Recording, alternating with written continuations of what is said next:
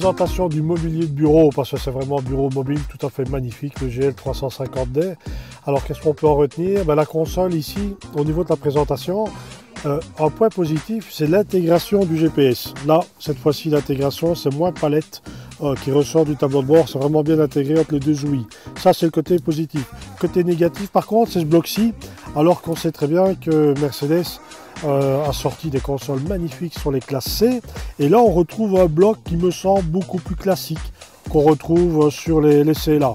Au niveau de l'espace de rangement, eh bien, c'est pas ce qui manque. Il y en a euh, très pratique. On en a également ici au centre. Voilà, c'est du beau, c'est du Mercedes, c'est du bien fini.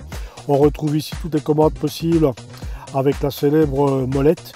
Euh, et là, évidemment, on en parlait euh, et on va en parler puisque nous allons faire les essais de la voiture. On a plusieurs modes, évidemment. On a le mode de réglage individuel. On a le mode sport. On a le mode confort. Et là, on a le mode sol glissant qui sera très certainement le revêtement du jour. Bon, je ne veux pas aller jeter un petit coup d'œil et faire un petit essai pour voir si cela est bien, nécessaire. On a également une possibilité évidemment de remonter la caisse en cas de difficulté sur un terrain relativement difficile et bien d'autres surprises que je vous laisserai découvrir si vous avez la chance de prendre un petit rendez-vous pour aller faire un petit tour avec le véhicule avec votre concessionnaire de votre région. Voilà, pour moi ici la finition elle est parfaite, elle est Mercedes, elle est vraiment plaisir. On a toutes les commandes ici du siège sur la gauche, ça c'est très, euh, très Jaguar aussi, hein. c'est des finitions de très bon niveau. On va juste jeter un petit coup d'œil pour voir la place qu'il me reste à l'arrière, parce que je rappelle quand même que votre essayeur mesure 1m95.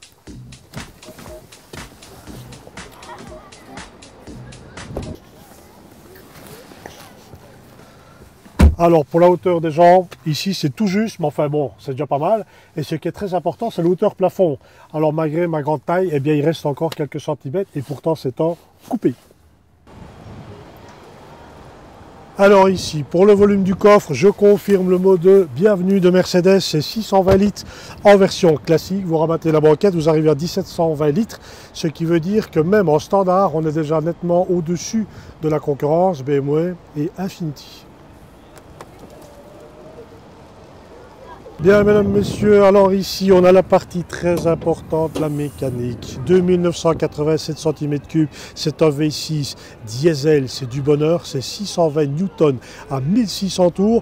Pour dépasser cela sur le GLE au niveau du rendement de la performance, il faut la 6 litres 3 AMG, auquel petit message pour Monsieur Cacher, si vous m'écoutez, je suis prêt pour le test. Toujours maintenant, on va aller faire le test grandeur nature avec ce véhicule-ci et c'est maintenant.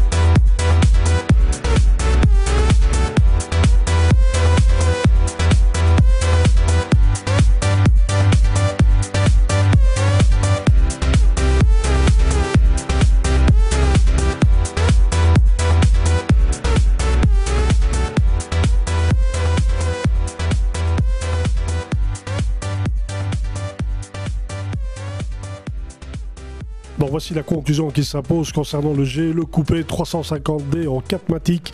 Véhicule vraiment, vraiment dynamique, un véhicule vraiment surprenant. C'est deux en un. C'est un véhicule qui est à la fois sportif, franchisseur vraiment surprenant. Alors évidemment, chaque véhicule a un côté positif, négatif. Si je peux parler du positif, et eh bien évidemment, une meilleure intégration du GPS dans le tableau de bord, ça c'est tout à fait évident. Malheureusement, côté négatif des choses, c'est peut-être le bas du tableau de bord qui rappelle une série de catégories entre guillemets inférieures. Position de conduite parfaite, un coffre évidemment un peu plus grand que la concurrence, c'est très appréciable, 1720 litres avec la banquette rabattue 650 en standard, une transmission intégrale permanente 4 matiques, ça c'est également du bonheur. Concernant le couple, évidemment un couple de 620 Newton à 1600 tours, et eh bien évidemment il y a que l'MG 3 qui peut faire mieux. D'ailleurs, c'est Monsieur Cacheur, écoute le reportage, je suis prêt pour le faire le test comparatif de ce véhicule exceptionnel. Rayon de braquage tout à fait correct. Maniabilité, eh bien ça se conduit, c'est très simple, c'est un gros vélo. Et la hauteur des places arrière pour les grands gabarits comme moi est tout dessus de la moyenne, c'est parfait. Concernant le côté peut-être négatif, c'est une différence au niveau dynamique select.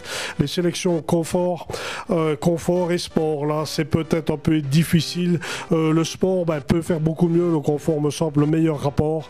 Enfin bref, au niveau de la consommation, euh, les normes constructeurs me semblent relativement difficiles à respecter. C'est un véhicule plaisir. Donc comptez grosso modo 10 litres au 100, ça me paraît plus ou moins raisonnable. Donc voilà, je vous invite sur www.calsoer.be afin de prendre un, rendez-vous pour faire un essai avec ce véhicule qui est à votre disposition, que ce soit à Liège, à Verviers ou à Eupen. Je vous donne rendez-vous sur www.max25.be pour des nouvelles aventures. A bientôt, merci.